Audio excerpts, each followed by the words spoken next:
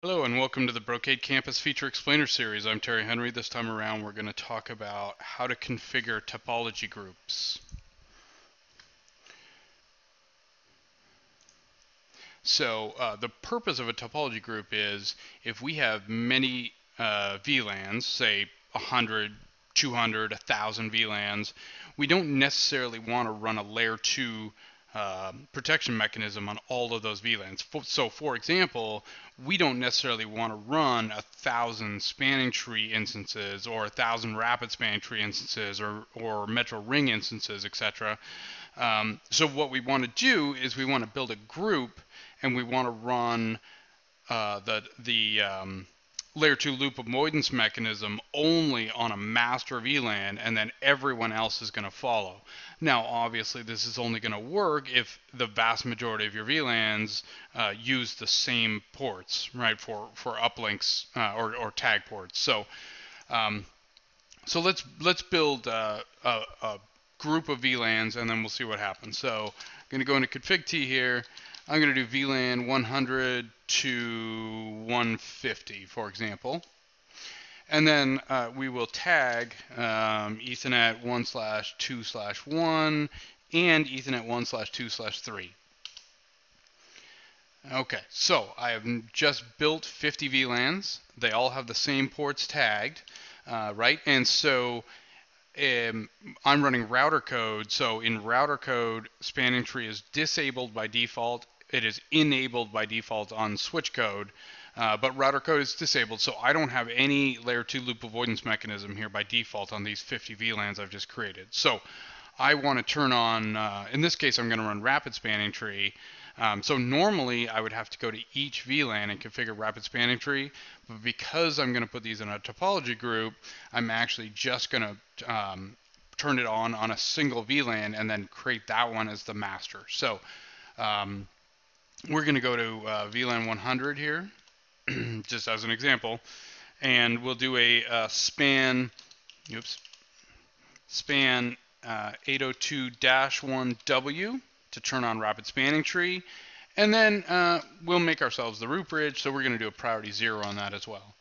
Um, so that's good, um, and then uh, and so I have spanning tree turned on on this single VLAN, and nothing else. Um, so what I'm going to do now is create a topology group. So the command is topology-group. Uh, you give it a number, so it could be um, anything from 1 to 255, I believe, but we'll start with 1. And then we're going to assign a member, uh, sorry, a master VLAN first. So our master VLAN is is the VLAN that we just uh, added rapid spanning tree to. So 100 in this case, okay. And then we assign our member VLANs. So member-VLAN is one way to do it. And then we will assign our VLANs 101 to, uh, you can do them one at a time, obviously, but we're going to do 2 150. So easy as that. So if I do a show topology group now, you'll see our topology group 1, our master VLAN is 100, our member VLAN is 101 to 150, right? So there's 50 VLANs in the group. Uh, our common control ports, uh, L2 protocol, so, so our common control ports are 121 and 123 that are running rapid spanning tree. Uh, and we don't have any per VLAN free ports. So what this means is it's ports in other VLANs that are not uh, in that master VLAN, right? So um, if I had other ports tagged in, in those other uh, 49 VLANs that were not in that master VLAN, then they wouldn't necessarily be running that control protocol, so they're considered free VLANs. The other thing we can do is we can create VLAN groups. So um, we, we do that with a VLAN group command. So VLAN group and give it a number. Um, oh, excuse me, that's all one command. So VLAN, and we're going to go 151 to 1. I don't know, 61. We'll put 10 VLANs in this group. Right? Uh, tag E 1 slash 2 slash 1, E 1 slash 2 slash 3, and just out of interest, we're going to do E 1 slash 1 slash 1. Okay, so we've actually added more VLANs to that group than were in the master VLAN. So we're going to go back into our topology group and add that VLAN group. Um, and actually, before I do that, let me show you that in a show run. So there's all my VLANs that we created before. So those are created as individual VLANs, even though I created them with one command. But here's a VLAN group. So a VLAN group is basically the same thing. It's just a group of VLANs with exactly the same settings on them.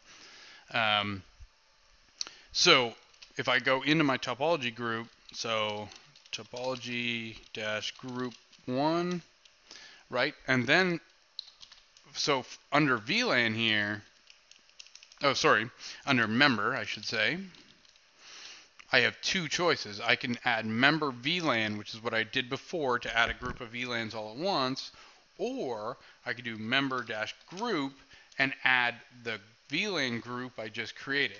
So all I got to do is add the VLAN number, the group number that I just created, and that adds it as a member. So if I do a show topology group again, you'll now see that uh, I have VLAN 100 as my master, 101 to 150 is members. I have a member group one, so I now have 61 VLANs, uh, layer 2 protocol with 802-1W, and you'll see that I have all these all these free ports, right? So Ethernet 1 slash 1 slash 1 for VLANs 151 to 161 are all considered free ports, and that's because those are interfaces in my other VLANs, actually in my VLAN group in this case, that are not part of the master VLAN. So they're not going to be protected by that layer 2 loop avoidance mechanism. So that's what that means.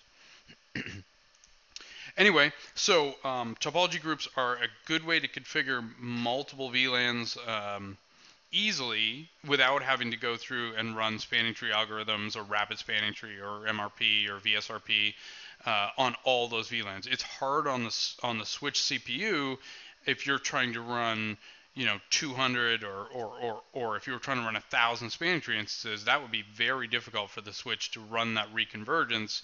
Uh, whereas in this case, we're only running a single spanning tree or rapid spanning tree instance for all of those VLANs, for 61 VLANs. Um, you can obviously have multiple topology groups and have them counter rotating, right? Have different um, different spanning tree root bridges on different uh, topology group devices. Um, so there's lots of things you can do. Um, but uh, but yeah, lots of flexibility, but it, it certainly will ease your life if you want to deploy that. Anyway, thanks for joining. Appreciate it.